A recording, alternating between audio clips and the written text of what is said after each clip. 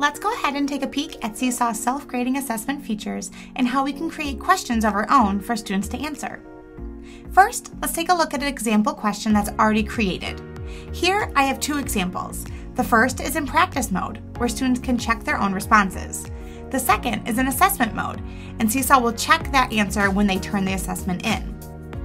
Let's take a look at how to create these questions. First, click the icon with the check mark, and then tap Questions. Consider what question type you're interested in, if you want the question to be classic or drag and drop, and which feedback type you want.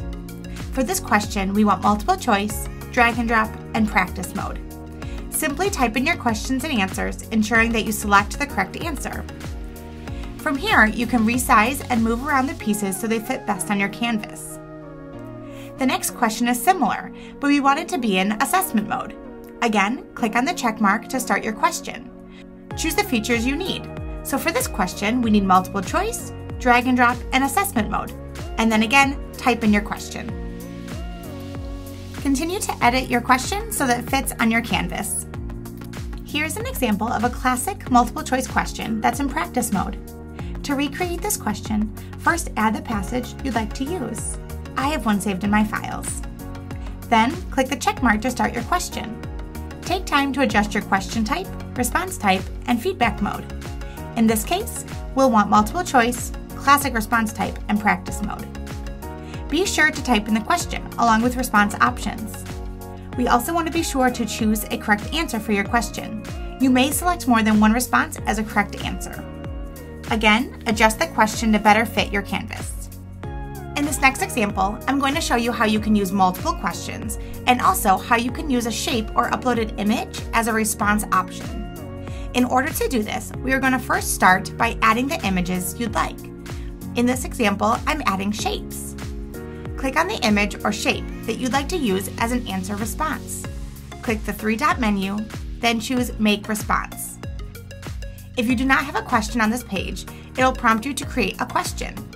Be sure to mark the image or shape as correct if it's a correct response. From here, you can resize and move around the pieces so they best fit on your canvas. Continue to select the shapes or images that align with your question. If you need to align a shape or image to a new question, you can use the pull-down menu to create a new question. In this example, I am sorting all shapes into one of four categories, so I created four questions and marked all shapes that correspond with that question as correct. Two answers cannot have the same name, so be sure that all responses are labeled differently. When using multiple questions like this example, be sure to use the student preview to check that all of your answers are inputted correctly. These formative assessment tools provide immediate learning insights for teachers. In summary view, teachers quickly see which concepts most of the class understood and which concepts they do not. In Detail View, teachers can see which specific students need more help. I hope you found this helpful. Be sure to leave any questions you have in the comments below. Like, subscribe to our channel, and we'll see you next time.